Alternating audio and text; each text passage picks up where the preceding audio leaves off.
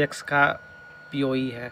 इसमें आप H F C L का यू बी आर इसमें डालिएगा तो इसमें काम नहीं करेगा। ये एक हम लोग का तीन, चार वायर होता है। एक है ग्राउंडिंग, जो किसी तरह ठंडरिंग होने से ये बचाता है। और एक हो गया पावर केबल, और ये हो गया केठिस केबल, इसको लाइन केबल भी बोलते हैं, और केठिस केबल भी बोलते हैं, और सीरियल केबल भी बोलते हैं। ये ये जो बीच से जो आता है, ये हम लोग का एल टू स्विच में जाता है। और जो किनारे में जो होता है, ये जाता है मेरा यू के पास जाता है।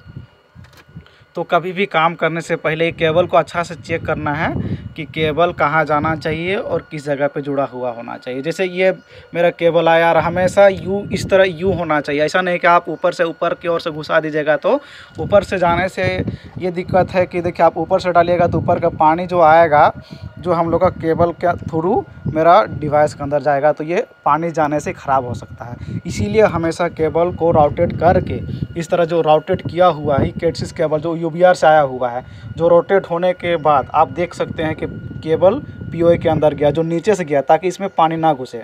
इसीलिए इस तरह बनाया जाता है। अब कभी भी इस इस केबल को ऐसे नहीं कि आप कभी भी बाईपास करने का कोशिश नहीं करना चाहिए और केबल को हमेशा इसी तरह, अब देखें पोल के थ्रू आप किस तरह से अच्छा से ये राउटेड करके ये यू के थ्रू केबल इस पाइप के थ्रू यू के पास ले जाया ले जाया गया है। अब ये आप देख सकते हैं एक सी फाइव एक्स का यू है, जो कि पोल पे लगा हुआ है। अब किसी तरह, ऐसा नहीं कि आप यहाँ पे कभी भी ये गलती नहीं करना है कि हम इसको एच एफ़ सी एल का पी देना है और इसमें लगा देना है। कभी भी ध्यान से देखना है दोस्तों, कभी भी। थैंक यू दोस्तों।